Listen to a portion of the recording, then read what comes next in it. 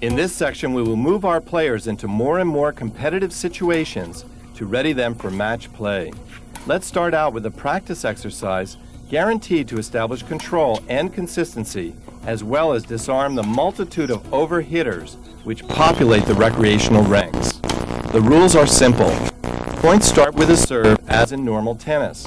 However, in this drill, if a player hits a winner or even forces an error, they lose the point. If there is a doubt, the player who misses the shot makes the decision whether it was a forced or unforced error. This results in a series of very long and patient points, like the one we see here.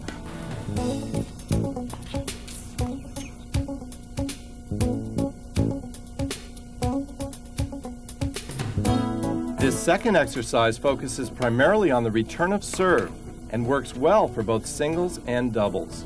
Instead of the server having two chances and the receiver only one, this training drill takes the pressure off of the receiver and puts it on the server.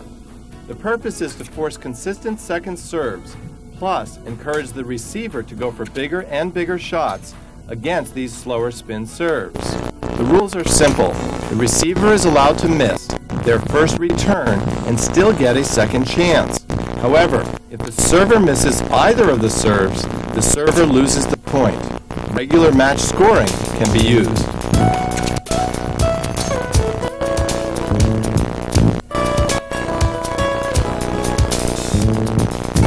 This next match play exercise is a real favorite and incredibly simple yet very effective. It works well for both singles and doubles and creates total awareness on the importance of winning game points. Let's say that our two players here are playing a match and the score is 40-15. If the server wins the point, it would be game.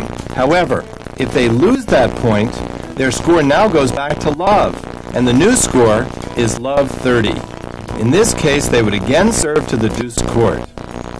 Another example would be if the server has a break point at 30-40. Now, if they don't convert that opportunity, the score changes to 40 love for the server. This is a great rule adjustment not only for practices, but also for social tournaments.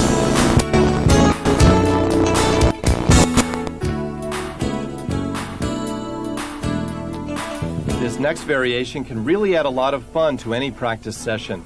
The only requirement is to bring one different colored ball to the court, in addition to the standard yellow ones. It creates a sort of wild card environment that makes every game more interesting. On any first or second serve during a game, the server can pull out of their pocket that different colored ball, and that ball is immediately worth three points. With this rule in place, you'll be amazed to see how much the receiver's focus increases.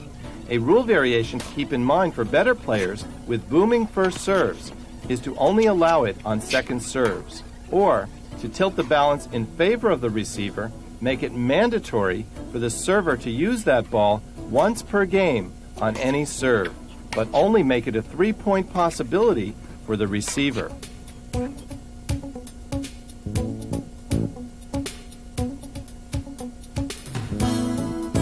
Statistical analysis of tennis matches started off years ago with the coach sitting at courtside, taking notes with pad and pencil in hand.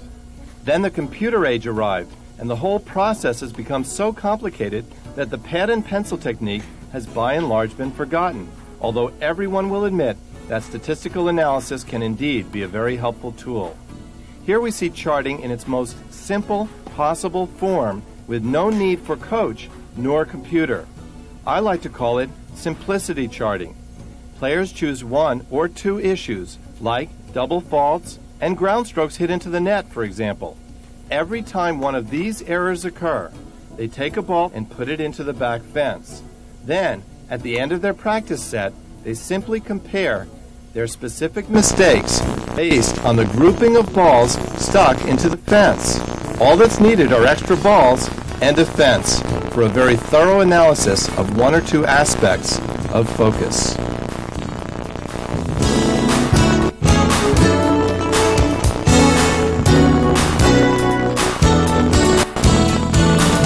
In this perspective changing drill, players are encouraged to hit the ball with both more depth and more angles. The goal is for the ball to land in the court and then hit either the back or side fence before landing twice on the court's surface. When players feel they have successfully hit the ball so this will occur, they firmly call out, Leave it! The player on the other side must then let the ball go. If it hits the back or side fence, the player who hit the shot wins the point immediately. On the other hand, if it bounces in the court a second time without hitting either fence, they would also lose the point immediately. What a great way to increase a player's awareness of how much pressure they are actually placing on their opponent.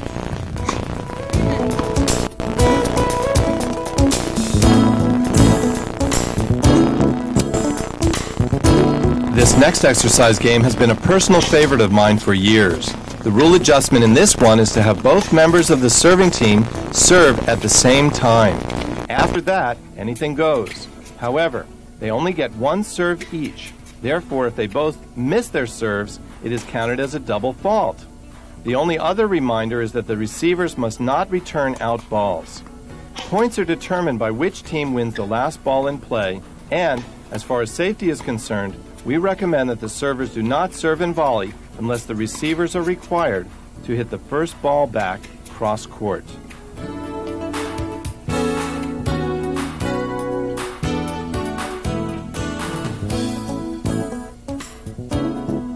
The final exercise of this section is designed to simulate match play in a cooperative environment whereby both sides are working together for an initial ball control sequence to begin each point.